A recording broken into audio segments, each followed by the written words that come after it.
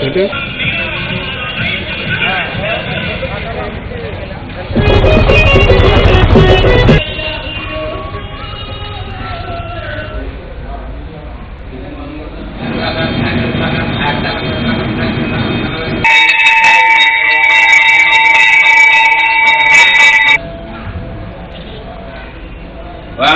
सहस्रया सर्वगं राजाधिराजाय प्रसंयताहिनेः नमामजं वै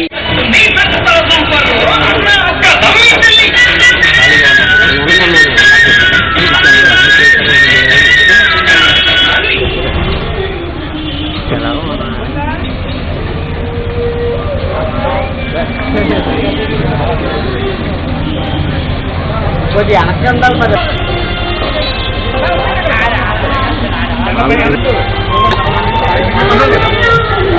పర్లేదు పర్లేదు పర్లేదు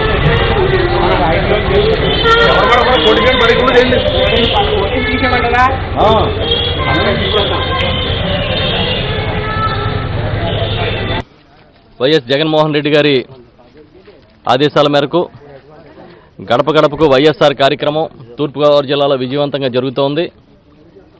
అన్ని ప్రాంతాల్లోని మన వైఎస్ఆర్ పార్టీ కార్యకర్తలు నాయకులు శ్రేణులు అందరూ కూడా గడప గడపకు వెళ్ళి మేమున్నాం మీకోసం ప్రధాన ప్రతిపక్ష పాత్రగా మేము పనిచేస్తూ ఉన్నాము. మీకోసం ఎలాంటి ఇబ్బందులైనా ఎలాంటి కష్టాలు వచ్చినా కూడా నిలబడడానికి సర్వదా సన్నద్ధంగా ఉంటాం అని చెప్పి తెలియజేస్తూ ఉన్నాం.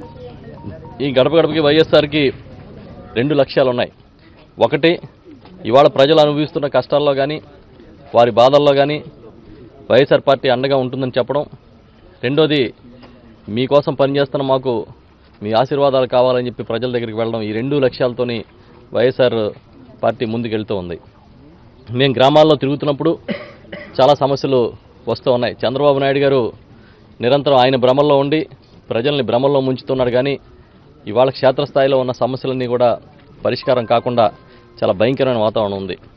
ఎలాంటి వాతావరణం అంటే ఒక కొత్తగా ఇల్లు మంజూరు చేయలేదు పాత కట్టుకుని ఇళ్ళకు బిల్లులు మంజూరు చేయలేదు పెన్షన్లు లేవు అర్హులుగా ఉన్నవారికి వికలాంగుల పెన్షన్లు తీసేశారు. ఇవే కాకుండా స్థానిక సమస్యలను కూడా పట్టించుకోవట్లేదు అదేమని అడిగితే ఎదురు తిరుగుతూ ఉన్నారు. ఇవాళ జన్మభూమి కమిటీల నాయకత్వంలో పనిచేయాల్సిన పరి పరిస్థితి అధికారులకు కూడా దాపరించింది. పూర్తిగా జన్మభూమి కమిటీలని చెప్పి పచ్చ కార్యకర్తలకి పచ్చ చొక్కాలకి పెత్తనాలు ఇచ్చి చాలా భయంకరమైన వాతావరణాన్ని గ్రామాల్లో క్రియేట్ చేశారు. మొన్ననే మేము గురజనాపల్లి గ్రామంలో తిరుగుతుంటే అక్కడ ఉన్న మహిళలు చెప్తూ ఉన్నారు. కట్టుకున్న ఇళ్ళ కోసం బిల్లుల కోసం అడుగుతూ ఉంటే చాలా హేళనగా మాట్లాడుతూ ఉన్నారు. మేము అప్పులు చేసి కట్టుకున్నాం. ఇల్లు ఇస్తారనుకుంటే ఉన్నవి కూడా పడగొట్టి మేము కొత్తవి కట్టుకోవడం కోసం ప్రయత్నం చేస్తే వారు మంజూరు చేయకపోవడం వల్ల గుడిసెల్లో జీవిస్తూ ఉన్నామని చెప్తున్నారు. ఇలాంటి పరిస్థితుల్లో వైఎస్ఆర్ పార్టీ ప్రతి ఒక్కరికి అండగా ఉంటుందని తెలియజేస్తూ ఉన్నాం. అర్హులన్న వారికి వికలాంగులకి పెన్షన్లు ఎందుకు ఇవ్వట్లేదని ప్రశ్నిస్తున్నాం. అర్హులైన వితంతులకు ఎందుకు పెన్షన్లు ఇవ్వటం లేదని చెప్పి మేము అడుగుతూ ఉన్నాం. ఇవాళ రేషన్ కార్డులు ఇవ్వడానికి కానీ అదేవిధంగా హౌసింగ్ మంజూరు చేయడానికి కానీ రకరకాల నిబంధనలు పెడుతూ ఉన్నారు. హౌసింగ్ మంజూరు చేయాలంటే వారికి బైక్ ఉండకూడదు ఐదు వందలు దాటి కరెంటు బిల్లు కట్టకూడదు ఇల్లు ఉండకూడదు ఇంకా రకరకాల రకరకాల ఆంక్షలన్నీ పెడుతూ ఉన్నారు. చంద్రబాబు నాయుడు గారి మొట్టమొదటి నుంచి ఉన్న అలవాటు ఇది. ప్రజల్ని భయభ్రాంతులు చేస్తూ ఉంటారు తాను అంతర్జాతీయంగా ఖ్యాతిని పొందాలనుకుంటూ ఉంటారు. ఈ విషయాలన్నింటినీ కూడా మేము ప్రజల ముందుకు తీసుకెళ్తూ ఉన్నాం. ప్రజలకి సవివరంగా వివరణ ఇచ్చి ఇది పద్ధతి కాదు మేము ప్రజల కోసం పనిచేస్తామని గెలిచిన ఈ ప్రభుత్వాన్ని మీరు భ్రమల్లో ఉండి గడుపుతూ ఉన్నారని చెప్పడం మా ఉద్దేశం. డ్వాక్రా రుణాలను రద్దు చేస్తా ఉన్నారు. డ్వాక్రా రుణాలు రద్దు చేయలే. ఇంటింటికి ఉద్యోగం అన్నారు. ఆడబిడ్డ పుడితే పాతిక వేలు అన్నారు. రైతు రుణమాఫీ లేదు. ఇవాళ రైతులకి జీరో వడ్డీకి వడ్డీ లేని రుణాలు ఇచ్చే పరిస్థితి నుంచి బ్రహ్మాండంగా మళ్ళీ పద్నాలుగు శాతం వడ్డీలు కట్టుకునే పరిస్థితికి వాళ్ళు తీసుకొచ్చారు రైతాంగానని చెప్పి మేము తెలియజేస్తూ ఉన్నాం. ఇంకో పక్క రైతులు ఎంత దీనస్థితిలో ఉన్నారంటే గోదావరి పెద్ద ఎత్తున ప్రవహిస్తూ ఉంటే ఈ తూర్పుగోదావరి జిల్లాలో ఎత్తిపోతల పథకానికి కూడా నీరు ఇవ్వలేని పరిస్థితి కనబడుతూ ఉంది.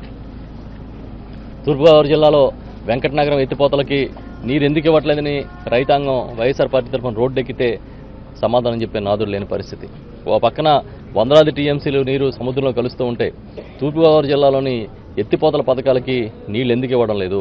అదే పట్టిసీమ ప్రాజెక్టుకి నీరు వదిలినప్పుడు పూర్వం నుంచి ఉన్న ఈ పథకాల కోసం ఎందుకు మీరు తాత్సారం చేస్తా ఉన్నారని చెప్పి మేము ప్రశ్నిస్తా ఉన్నాం. ఈ విధంగా ఎన్నో సమస్యలు ఉన్నాయి. ఆ సమస్యలన్నింటినీ తీసుకుని ప్రజల్లోకి వెళ్తా ఉన్నాం. ప్రజల నుంచి బ్రహ్మాండమైన స్పందన వస్తూ ఉంది.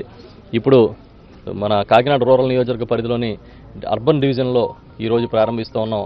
ఒకటో డివిజన్తో ప్రారంభించి మొత్తం అన్ని డివిజన్లో కూడా పూర్తిగా గడప గడపకి ఇంటింటికి వెళ్ళి వైఎస్ఆర్ పార్టీ ఈ గడప గడపకి వైఎస్ఆర్ లక్ష్యాలను వివరించి వంద ప్రశ్నలతో ఉన్న కరపత్రాన్ని వారికి అందించి ఎన్ని హామీలు నెరవేర్చారు ఎన్ని చేయలేదో చూడమని చెప్పి తెలియజేస్తాం.